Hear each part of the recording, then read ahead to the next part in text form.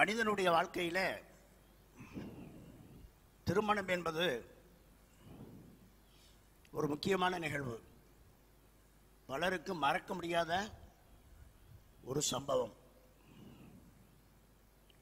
அல்லாஹ் திருமணத்தை எதற்காக ஏற்படுத்தினார் என்றால் இரண்டு மனங்களை இணைக்க வேண்டும்.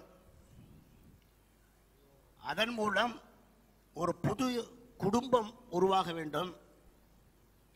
அதிலிருந்து சந்ததிகள் பெருக வேண்டும். சொந்தம் பந்தங்கள் வளர வேண்டும். இருவரும் நிம்மதியாக வாழ வேண்டும்.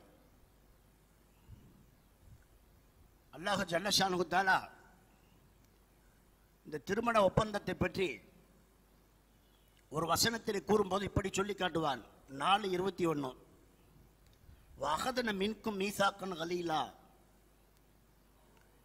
அந்த பெண்கள் ஆண்களாக இருக்கிற உங்களிடத்திலே வலுவான ஒப்பந்தத்தை எடுத்திருக்கிறார்கள் என்று அல்லாஹ் சொல்லி காட்டுகிறார். இஸ்லாத்திலே திருமணம் என்பது ஒரு அக்ரிமெண்ட் வாழ்க்கையில் ஒரு வலுவான ஒப்பந்தம் என்கிறான் அல்லாஹ். வலுவான என்றாலே அதை உடைக்கக்கூடாது என்ற அர்த்தம். நினைத்ததற்கெல்லாம் சின்ன சின்ன காரியங்களுக்கெல்லாம் கோபம் வந்தது என்பதற்காக எல்லாம் அந்த ஒப்பந்தத்தை தூக்கி போட்டு உடைக்கக்கூடாது. என்பதைத்தான் மீசாக்கன் ஹலீலன் வலுவான பலமான ஒரு ஒப்பந்தம் என்று அல்லாஹு ஜல்லஷாலகுத்தாலா குறிப்பிட்டு காட்டுகிறார். அதன் மூலம் இருவருக்கு மத்தியில் இருக்கிற தோழமை கலந்துரவாடல் இது போன்ற பல பயன்கள் ஏற்படக்கூடிய காலகட்டத்தில் அதை சிறுபிள்ளைத்தனமாக கையாள்வது என்பது முட்டாள்தனம். நபிகள் நாயகம் ஸல்லல்லாஹு அலைஹி விடைபெறும் ஹஜ்ஜனுடைய நாளன்று அரஃபா மைதானத்தில் இப்படி சொல்லி காட்டினார்கள். அகத்து மூகுன்ன பி அமானத்தில்லாஹி வஸ்தஹிலல்தும் ஃபுரூஜஹுன்ன பி கலிமத்தில்லாஹி. அல்லாஹு ஜல்லஷானு தஆலாவுடைய அமானிதத்தை கொண்டு அந்த பெண்களை நீங்கள் கரம் பிடித்திருக்கிறீர்கள். ஒரு ஆண் ஒரு பெண்ணை கரம் பிடிக்கும்போது குறுக்கே யார் வந்து நிற்கிறா அல்லாவுடைய அமானிதம் நிற்கிறதுங்கிறாங்க ரசூசல்லி சும்மா இல்லை. விளையாட்டல்ல இந்த உறவு. அல்லாஹுவின் அமானிதத்தின் பேரில் அந்த பெண்களை நீங்கள் கரம் பெற்றிருக்கிறீர்கள் அவர்களை அனுபவிப்பதற்கு அல்லாஹுடைய வாக்கின் பேரில் நீங்கள் அனுமதி பெற்றிருக்கிறீர்கள். அனுபவிப்பதற்கு பெற்றிருக்கிறீர்கள். என்று நபிகள் நாயகம் செல்லல்லாஹலை செல்லம் அந்த மாநாடு போன்று நடந்த அந்த நேரத்திலே பெண்களின் உரிமைகளை பற்றி நபி ஸல்லல்லாஹு செல்லம் பேசும்போது எடுத்துரைத்தார்கள். ஆனா இப்போ கல்யாண ஒப்பந்தங்களில் பார்த்தீங்கன்னா என்ன செய்வாங்க? வக்கீல் உட்காந்துருப்பார் பெண் தரப்பில். பெண் டைரக்டா வந்து சொல்றதுக்கு கூச்சப்படுவாங்க. சொல்லலாம். இன்ன என்னுடைய மகளை அல்லது இன்ன அவருடைய மகளை உங்களுக்கு நான் இந்தந்த சாட்சிகளின் பேரில் திருமணம் முடித்து வைத்துக் கொள்கிறேன். ஒப்புக்கொண்டீர்களா? என்று கேட்பாரு. எல்லா பேரும் ஒப்புக்கொண்டுங்கிற வார்த்தையை வாழ்க்கையில் மூணு தடவை சொல்லியிருப்போம். இவர் ஆமாம் பாரு இது பத்தாவதுன்னு போட்டு அரபியில் வேறு சொல்லி கொடுப்பாங்க. இவர் கபில் தூ கபில் தூ கபில் தும்பார். எல்லாம் கபில் தாய்த்தான் நாங்கள் வந்து உட்காந்துருக்காரு இந்த கபில் தூ லேஸ் அல்ல. ஏதோ சடங்குக்காக சொல்கிறதல்ல மன ஒப்பி சொல்லணும். இந்த பெண்ணை முழு மனதோடு நான் ஏற்றுக்கொண்டு எனது குடும்பத்தின் துணைவியாக நான் ஏற்றுக்கொள்கிறேன் துணையாக ஆக்கிக் கொள்கிறேங்கிற அடிப்படையில் சொல்கிறோம் அல்லது கணவனாக இருக்கிறவரும் மனைவியை பார்த்து நேரவே சொல்லலாம். நான் உன்னை மனம் முடித்துக் கொள்ள விரும்புகிறேன் நீ என்ன சொல்கிற அப்படின்னு கேட்கலாம். இதெல்லாம் வந்து கொஞ்சம் மேடையில் வந்து உட்கார வச்சு அதை செய்கிறதுங்கிறது கொஞ்சம் முன்ன பின்ன ஆகுங்கிறதுக்காக வேண்டி ஒரு ஆளை வச்சு என்ன செய்யலாம் நம்ம செய்கிறோம் அந்த ஒப்பந்தத்தில் கையெழுத்து விடுறோம் மாப்பிள்ளைக்காரரும் கையெழுத்து போடுவார். பொண்ணும் என்ன செய்யும்? நாலு பேர் போய் பொண்ணு இடத்துல தனிமையில் இருக்கோம். அங்கே போய் கையெழுத்து வாங்கிட்டு வருவாங்க. இது சாதாரண சடங்கல்ல. இதை மொதல் புரிஞ்சுக்கிடணும். அல்லாஹுவை முன்வைத்து செய்யக்கூடிய வேலை. அதைத்தான் ரசூல் சல்லா அலிஸ்லம் பி அமானத்தில்லா பி கனிமத்தில்லா அல்லாஹ்வுடைய வாக்கின் பேரில் பற்றி இருக்கிறீர்கள் கரம் பற்றினீர்கள் சும்மா நினைத்துக் கொள்ளாதீர்கள் என்று அல்லாஹ் சொல்லி காட்டுகிறான். சரி சேர்த்து வாழும்போது இயன்ற வரைக்கும் ரெண்டு பேரும் விட்டு கொடுக்கணும் தான் மார்க்கம் சொல்லி கொடுத்துருக்கு. இயன்ற வரைக்கும் எவ்வளவு ஒரு எல்லை இருக்குமோ அந்த எல்லை வரைக்கும் என்ன செய்யணும் விட்டு கொடுக்கணும். பெண்ணாகட்டும் ஆணாகட்டும் ரெண்டு பேருமே விட்டு கொடுக்கணும். இந்த விட்டு கொடுக்குற விவகாரத்தில் பெண்கள் கொஞ்சம் முன்ன பின்னதான். அவங்களுக்கு ரோஷம் வேகமாக வந்துடும் பட்டுன்னு அழுதுவாங்க அவங்க செய்கிறது பூரா அதுதான். இந்த நேரத்தில் ரொம்ப பொறுத்து போக வேண்டியது ஆண்கிறத மறந்துடக்கூடாது. எவ்வளவு தூரம் உங்களுக்கு நீங்கள் கீழே இறங்கி ஒரு மனைவி இடத்துல சமாதானம் போறதுக்கு முடியுமோ அந்த அளவுக்கு போக சொல்லித்தான் மார்க்கம் நமக்கு என்ன செஞ்சிருக்கு? வலியுறுத்தி இருக்கிறதா? தவிர அவ ஒரு சின்ன தப்பு பண்ண உடனே ஏதாவது பேசின உடனே உன் தம்பி இடத்துல ஏதாவது திட்டின உடனே உங்கள் அம்மா அத்தா இடத்துல பெற்றோர் இடத்துல உங்கள் பெற்றோர் இடத்துல அதாவது மாமனா மாமி இடத்துல ஏதோ நடந்துக்கிட்ட உடனே டக்கு டக்கு டக்குன்னு இந்த வார்த்தையை பயன்படுத்துறதுக்கு ஒன்றுக்கு ஆயிரம் தடவை யோசிக்கணும் இதைத்தான் நமக்கு மார்க்கம் நமக்கு நல்லா சொல்லி கொடுத்துருக்கு. நபிசல்லா ஸல்லல்லாஹு ஒரு இடத்துல இப்படி சொல்லுவாங்க. ஏன் அல்லாஹ்வே குரான் ஷெரீஃபில் இப்படி சொல்லுவான்? சில சந்தேகங்கள் பாவமாகும். என்று அல்லாஹ் சொல்லுவான். பெரும்பாலும் ரெண்டு பேருக்கு மத்தியில் பிரிவினை ஏற்படுறதுக்கு ஒருவருக்கு மற்றவர் மீது இருக்கக்கூடிய சந்தேகம் தேவையில்லாத சந்தேகம் காரணமாக இருக்கும். யார்கிட்ட இவ்வளவு நேரம் பேசிட்டு இருக்கா? என்ன பத்து நிமிஷமா? பதினஞ்சு நிமிஷமா? இவ்வளவு பேச்சு என்ன கிடக்குது? இடையில இடையில வார்த்தைகள் ஒரு மாதிரி வருது. ஏங்க இதையே நீங்க அதாவது ப்ளஸ் எடுத்துக்கலாம்ல. ஒரு கால் இப்படி இருக்கலாம். அக்காட்டையோ தங்கச்சிட்டையோ பேசுறா. அவளுக்கு ஏதோ சொல்கிறாங்க அதற்கு இவங்க என்ன செய்கிறாங்க பதில் கொடுக்குறாங்க. ஏன் அப்படி நல்ல முறையில் எடுத்துக்கிற கூடாது? எதை எடுத்தாலும் நெகட்டிவ் சில ஆம்பளைங்க இருக்காங்க. அவங்களுக்கு நெகட்டிவாக பார்க்குறதே தான் வேலையே.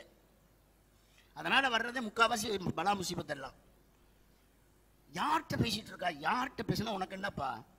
தெளிவாக இருக்குதா? முதல்ல நம்பிக்கை வேணும். குடும்பத்தில் வந்து ஆணுக்கு பெண்ணின் மீதும் பெண்ணுக்கு ஆணின் மீதும் நம்பிக்கை வேணும். அவன் எல்லாம் சொந்தம் பந்தம் எல்லாத்தையும் தூக்கி போட்டு வந்த இடத்துல வந்திருக்கா. அப்பா அம்மா எல்லாரையும் கலைச்சி விட்டு வந்திருக்கா. அவங்க வீட்டுகளில் பிறந்த வீட்டில் வாழ்கிறதெல்லாம் பதினஞ்சு வருஷமோ? மீறி போனால் பதினேழு பதினெட்டு வருஷமோ? இவ்வளவுதான். மீதி இருக்கக்கூடிய வாழ்க்கையின் முக்கா பகுதிக்கு மேலே எங்கே தான் வாழுது பொண்ணு? கணவன் வீட்டில் தான் வாழ்றாங்க அப்படிப்பட்டவங்கள் மீது நீங்கள் முதல்ல நம்பிக்கை வைக்கணும். எடுத்ததற்கெல்லாம் சந்தேகப்பட வேணாம். சந்தேகங்களில் சில பாவம்ங்கிறான்ல. பாவம். நபிகள் நாயகம் செல்லல்லா அலிஸ்லம் சொல்லும்போது இப்படித்தான் சொன்னார்கள். அதனால் இந்த பிரிவினைக்கு காரணமாக அமைவதை என்னன்னு கேட்டீங்கன்னா அடிச்சு பிடிச்சி எப்படி பார்த்தாலும் சந்தேகங்களும் தேவையில்லாததும். இந்தம்மா இவர் என்ன நைட்டு இவ்வளோ நேரம் ஆச்சு?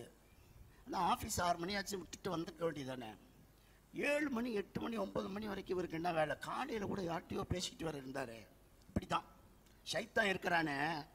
அல்லாஹ் அக்பர் ரெண்டு பேரும் நல்லா இருந்தால் பிடிக்காது சைத்தான் ஷைத்தான் வந்து என்ன செய்வாங்கன்னா கடலில் உட்காந்துக்கிட்டு ரசூல்லா செல்லல்லா அலிஸ்லாம் அதீசிலே சொல்லி காட்டுறாங்க. அவன் தொண்டர்கள்லாம் இருப்பாங்கள்ல சீடர்கள். வாடா இன்னைக்கு என்ன வேலை செஞ்சேன் இன்னைக்கு என்ன வேலை செஞ்சேன் இன்னைக்கு வேலை செஞ்சான்னு ஒருத்தட்டியாக கேட்பான். எதை ஒருத்தர் தொழுகையை கெடுத்தேன் ஒருத்தர் நோன்பை கெடுத்தேன் என்னத்த சொன்னாலும் அவனுக்கு அவ்வளோ பெருசாக தெரியறதில்லை. ஒருத்தர் வந்து சொல்லுவானா ஒரு சைத்தான் நான் ஒரு குடும்பத்தில் குழப்பத்தை உண்டு பண்ணி கணவன் மனைவியை பிரிச்சுட்டு அப்படிம்பானா சொன்ன உடனே ஆ சபாஷ் நீ தாண்ட சரியான நம்ம ஆளும்பானா அப்படின்டா இதை வச்சு விளங்கணும் சைத்தான் எந்த அளவுக்கு உள்ள பூந்து கணவனையும் மனைவியும் பிரிக்கிறதுக்கு என்னென்ன வேலை இருக்குதோ எல்லாத்தையும் செய்வான்.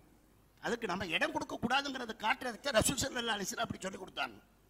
அல்லாஹ் குர்ஆன்ல என்ன சொல்றான் நான் வாசித்த வசனத்துல மனைவியரோடு நீங்கள் நல்ல முறையில் வாழ்க்கை நடத்துங்கள். ஆண்களுக்கு தான் உத்தரவு கொடுக்குறான். இந்த உத்தரவு வர்றதெல்லாம் பெரும்பாலும் யாருக்கு தான்?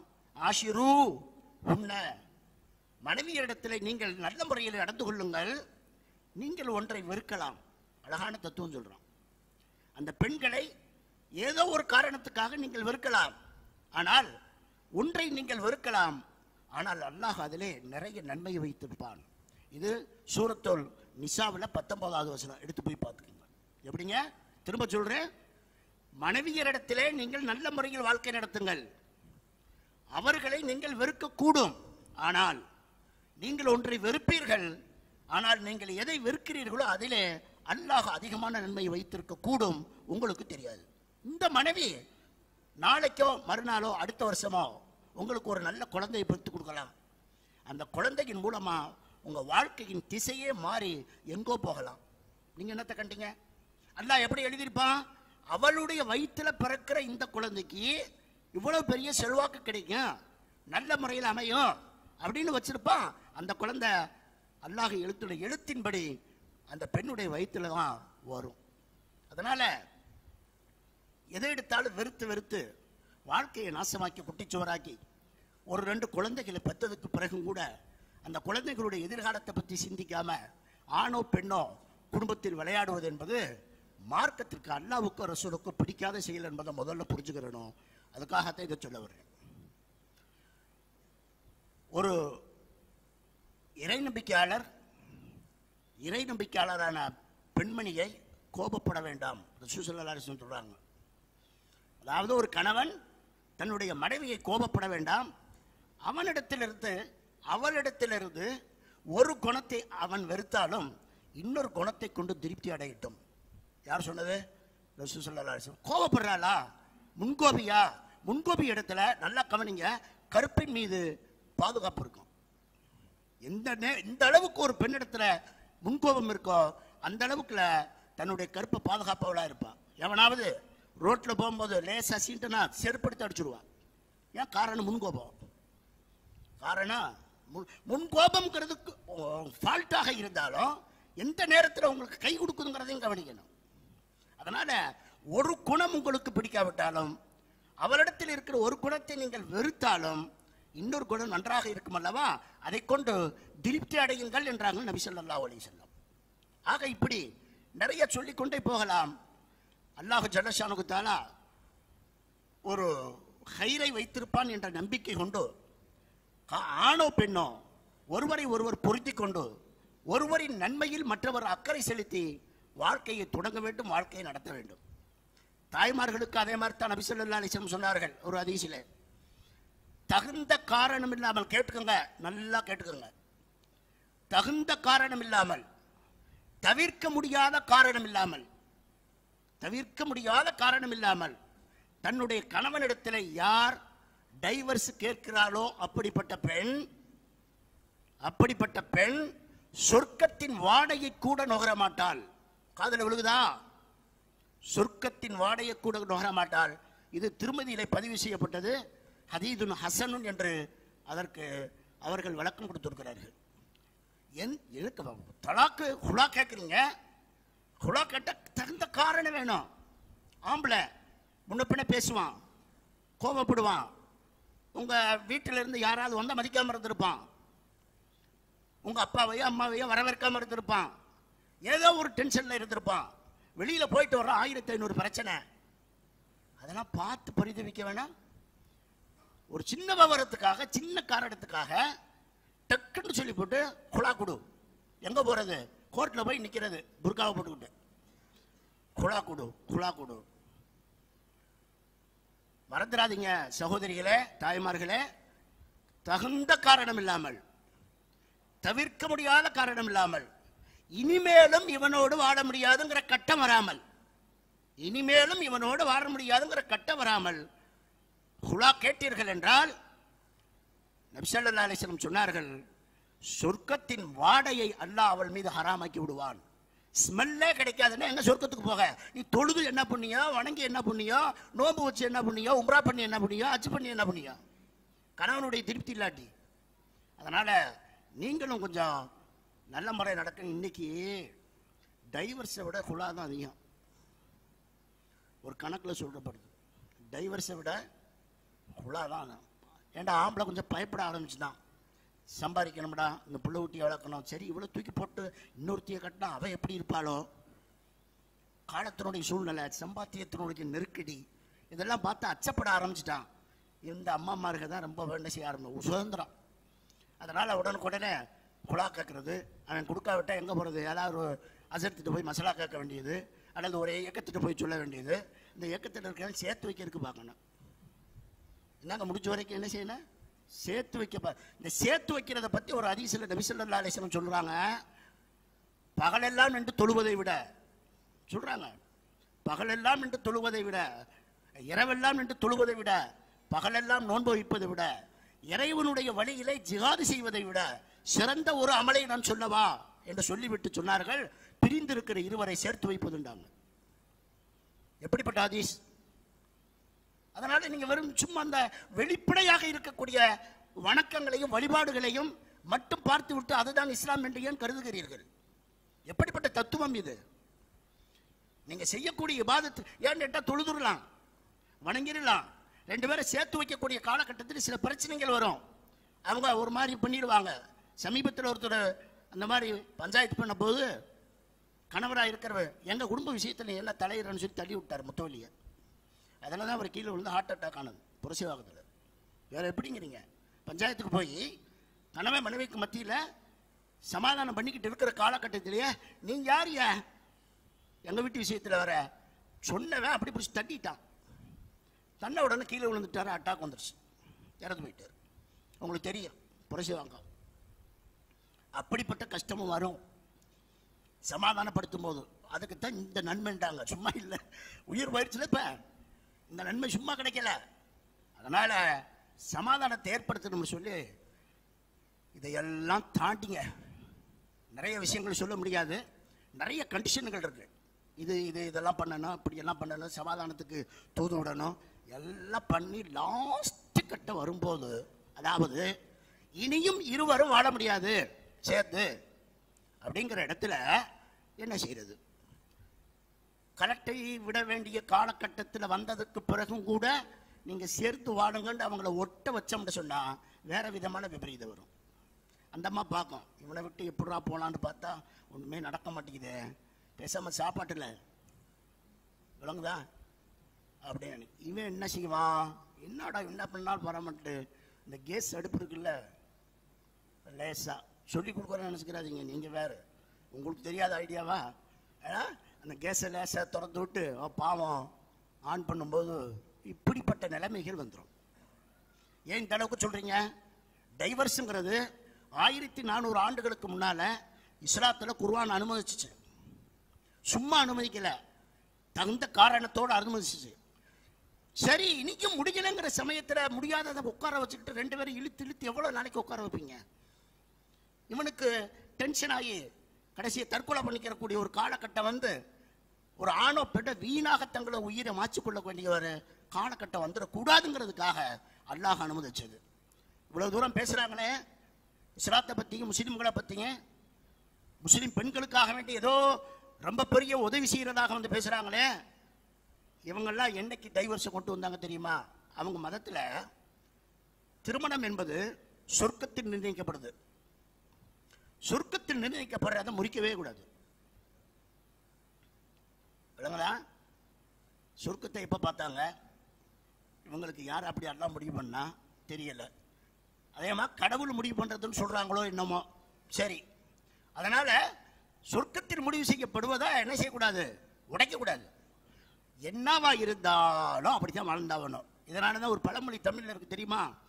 கல்லானாலும் கணவன் புல்லானாலும் புருஷன். அதுக்கு அர்த்தம் என்ன தெரியுமா? கல்லு மாதிரி முரட்டு பயிலாக இருந்தாலும் அவன்கிட்ட தான் வாழ்ந்தாகணும். புல்லு மாதிரி உதவாக்கரையாக இருந்தாலும் அவன்கிட்ட தான் வாழ்ந்தாகணும். இதான் அதுதான் இஸ்லாம் அப்படி சொல்லலை. பெண்களுக்கு உரிமை கொடுத்த ஒரே மார்க்கம் ஃபஸ்ட்டில் கொடுத்ததே எதுன்னு கேட்டா இஸ்லாம் தான். உனக்கு பிடிக்கலையா? இதுக்கு மேலும் வாழ முடியாதா? பெண்ணாக இருந்தால் ஹுலா கேட்டு போயிடு ஆணாக இருந்தால் தலாக்க சொல்லிட்டு போய்கிட்டே இரு. இனியும் வாழ முடியாத காலகட்டம் வரக்கூடிய காலகட்டத்தில் ஒட்டாததை வம்புக்கு ஒட்ட வச்சு எத்தனை காலத்துக்கு ஓட்டிக்கிட்டு இருக்க முடியும்? பேசாமல் என்ன செய்யுங்க? பிரிஞ்சு போங்க. உங்களுக்கு ஒரு அல்லா ஒரு பெண்ணை வச்சுருப்பான். அந்த பொண்ணுக்கு அல்லா ஒரு ஆணை வச்சுருப்பான். போய் வாழட்டும். அப்படி வாழ்கிறவங்க பல பேர் இருக்காங்க. செகண்டாக போய் வாக்கப்பட்டு அல்லது இந்த கணவன் வந்து வேற ஒரு பெண்ணை மனம் முடிச்சு கொண்டு நல்ல முறையில் வாழக்கூடியவர்கள் குழந்தை குட்டிகளை பெற்று இதாக வாழக்கூடியவங்க நிறைய இருக்கிறாங்க. இவங்கள்ட்ட என்னாச்சு தெரியுமா? நம்ம இந்தியாவை பொறுத்த மட்டும் அரசியல் சாசன சட்டத்தில் ஹிந்து மேரேஜ் ஆக்டுன்னு நைன்டீன் ஃபிஃப்டி ஃபைவ்ல பாஸ் பண்ணாங்க. நைன்டீன் ஃபிஃப்டி ஃபைவ்ல. ஆக்டே எப்போதான் வருது? மேரேஜினுடைய ஆக்டிலேயே டைவர்ஸை பின்னால் போய் சேர்த்துவாங்க. அதுலேயும் கூட முழுசான ஆக்ட் போட முடியாமல் ரெண்டாயிரத்தி மூணில் திருத்த வேற போட்டாங்க. மனுஷன் போட்ட சட்டம் திருத்தப்படத்தான் செய்யும். ஏன்னா எல்லா காலத்தையும் அறிஞ்சவன் அல்ல. அது மாதிரி நினைச்சுக்கிட்டாங்க அதையும் அதிசையும் மார்க்கத்தையும். எத்தனை ஆட்சிகளை நம்ம திருத்திருக்கோம் ஏன் உங்க சரியத்தையும் திருத்தக்கூடாது?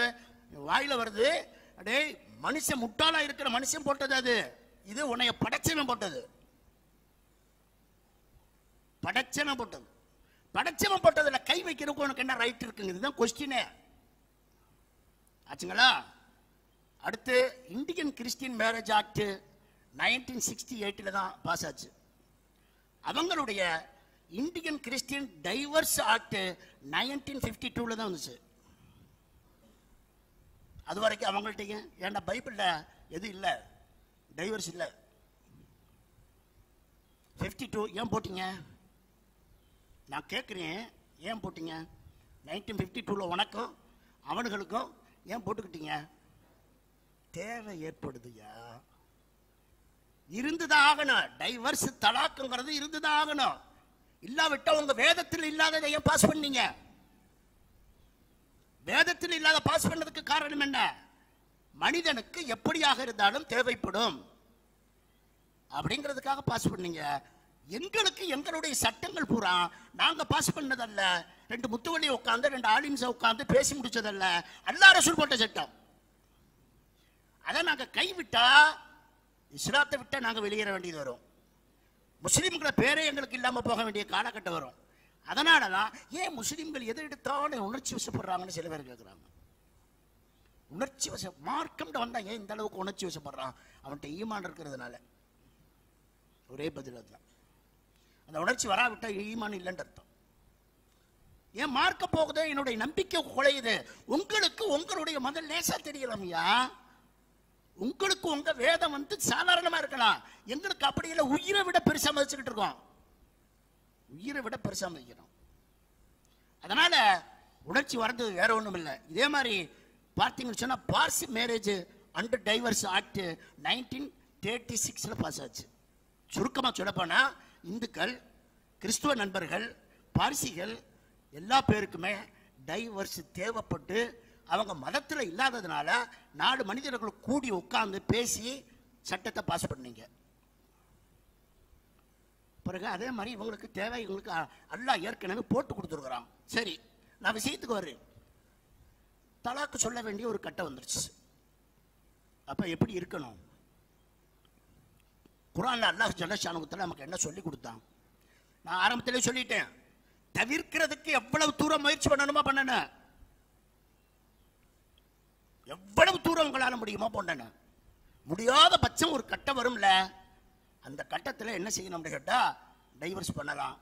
அல்லாஹ் ஆரம்பத்தில் சொல்கிறான் அத்தலாக்கு மர்றத்தானி ஃபைம்சாக்கும் பி மௌரூஃபின் அவு தசரீகும் பி ஹிசான்.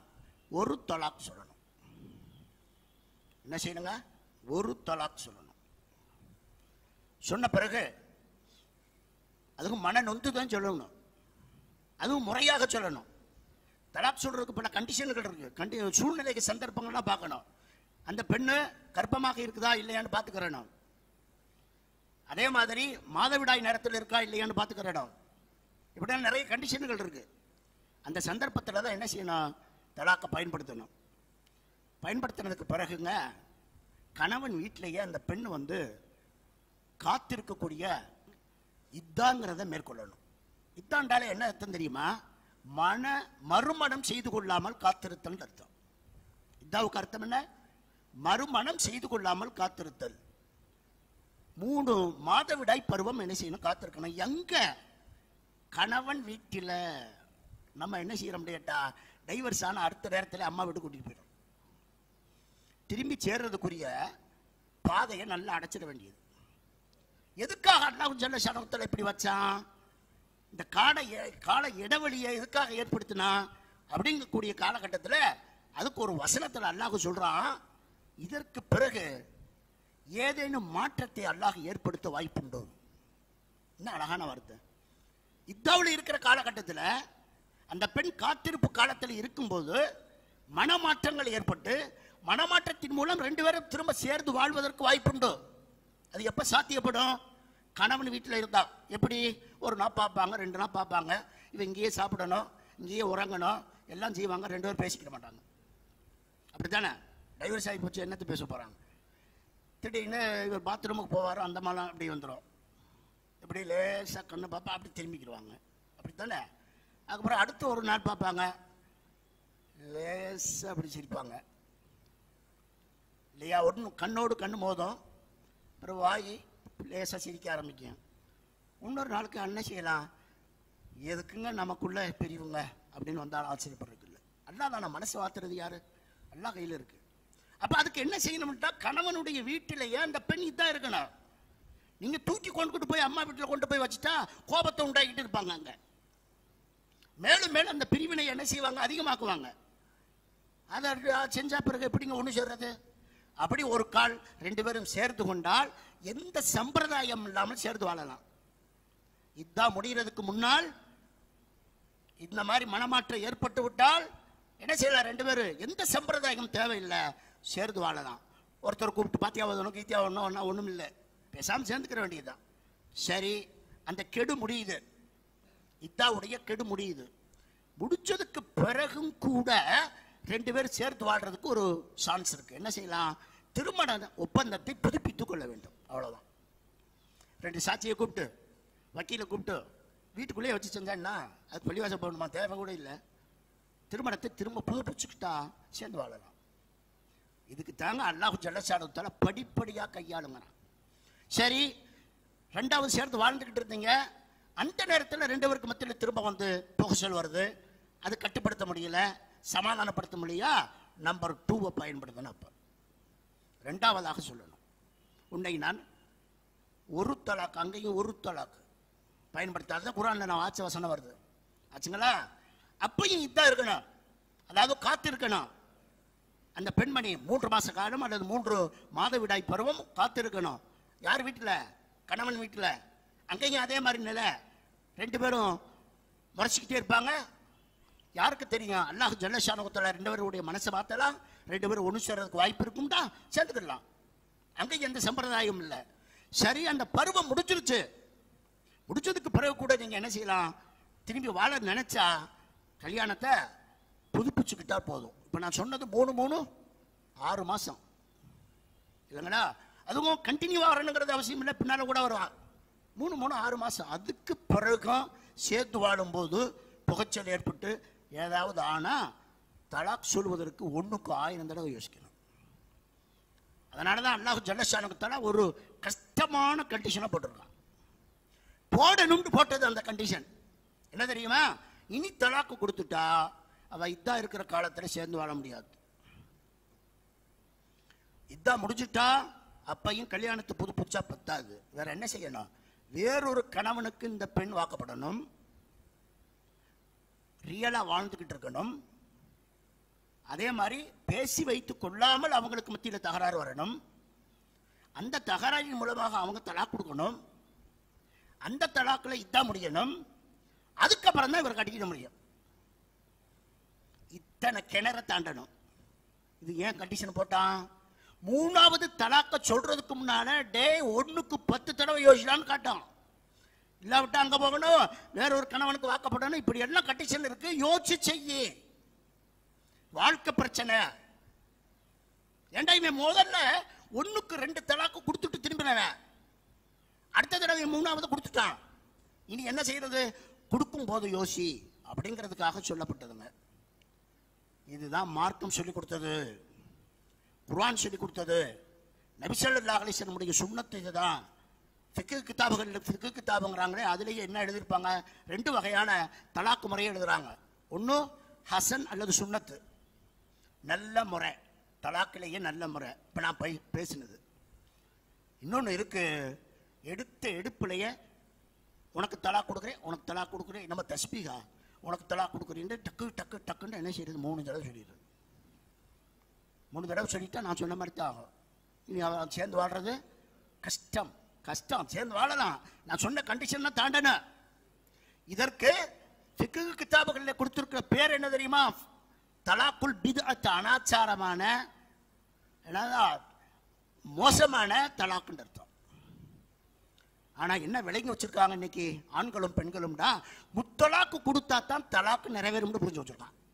இந்த கொடுமை எங்கே போய் சொல்லியால ஒன்று நாங்கள் சொல்ல தவறிட்டோமா? அல்லது நீங்கள் கேட்க தவறிட்டீங்களா? எல்லாரும் சேர்ந்து வீணாக போச்சா? அப்படிங்கிறது புரியலை. யார் சொன்னது? முத்தலாக்கு கொடுத்தா தான் பிரிய முடியும்னு யார் சொன்னது? ஒரு தலாக்கை கொடுத்து சுண்ணத்தான முறையில் இதா கலந்த பிறகு அந்தம்மா யாரையாவது போய் கட்டிக்கிறட்டு நீ யாரையாவது போய் கட்டிக்கிய? முடிச்சு போச்சு. ரெண்டு மூணு சொல்லணுங்கிறது தேவை இல்லைப்பா. ஏன் புரிஞ்சுக்கிட மாட்டேங்கிறாங்க? சில பேர் அது எப்படி தலாக்காகும் மூணு தலாக்கு வாங்கிடு ஐயோ என்னத்துக்கு மூணு தலாக்கு வாங்கணும் தேவை என்ன இருக்கு? பிரியணும்னு நினைச்சா பிரிச்சிடலாம். இதனால் ஏற்பட்டதுதான் முத்தலாக்கு பிரச்சனை. முத்தலாக்கு பிரச்சனைக்கு அடிப்படையில் ஒரு காரணம் நாமும் தான். இந்த அளவுக்கு பிரச்சனை உருவாகி பார்லிமெண்ட்டில் விசாரணை பண்ணி கடைசியாக சுப்ரீம் கோர்ட் வரைக்கும் போய் அவன் எப்படா சான்ஸ் கிடைக்காதுன்னு பார்த்துட்டு இருக்கான். நம்ம பொம்பளை பிள்ளைகளே கொண்டு போய் சான்ஸ் கொடுக்குதுங்க. கேஸ் விட்டதெல்லாம் யாரு? தூண்டுதலின் பேரில் போட்டிருந்தா தூண்டுதலுக்கு இலக்காகிற அளவுக்கு நம்ம பொம்பளைகளை வச்சிருக்கிறோம். நம்ம பொம்பளைகளை தூண்டிட்டாங்க. தூண்டிட்டாங்கல்ல? தூண்டுற அளவுக்கு ஏன் அவன் மசைகிறா அப்போ அவள்கிட்ட என்ன இல்லை சரக்கு இல்லை. தீனை பற்றி இது இல்லை புரிதல் இல்லை அல்லாவை பற்றி அச்சம் இல்லை மார்க்கத்தின் மீது பிடிப்பில்லை பொம்பளை பொம்பளைகளை நம்ம அப்படி வச்சிருக்கிறோம்? அதனால எவனாவது ஒருத்தன் வந்து சொன்ன உடனே கோர்ட்டில் போய் நின்று என்ன போட? இஸ்லாத்துக்கும் மார்க்கத்துக்கும் எதிராக என்ன எழுதுறான்? இன்னைக்கு காலையில் கூட பேப்பரில் படித்தா ஆயிரத்தி நானூறு ஆண்டுகளாக முஸ்லிம் பெண்களுக்கு இழைக்கப்பட்ட கொடுமைக்கு தீர்வு கிடைத்திருக்கிறதுங்கண்ணா ஆயிரத்தி நானூறு ஆண்டை இவன் பேச வேண்டிய தேவை? ரசூல்லா வரைக்கும் தொடுறான் மறந்துடக்கூடாது. இந்த அதிகாரிகள் கொடுத்த அறிக்கையை பேப்பரில் போட்டிருக்கான். ஆயிரத்தி நானூறு எங்கடா யாரடா எங்கேயோ ஒன்று ரெண்டு நடக்கிறத வச்சுக்கிட்டு ஏன்டா அப்படி பேசுறீங்க?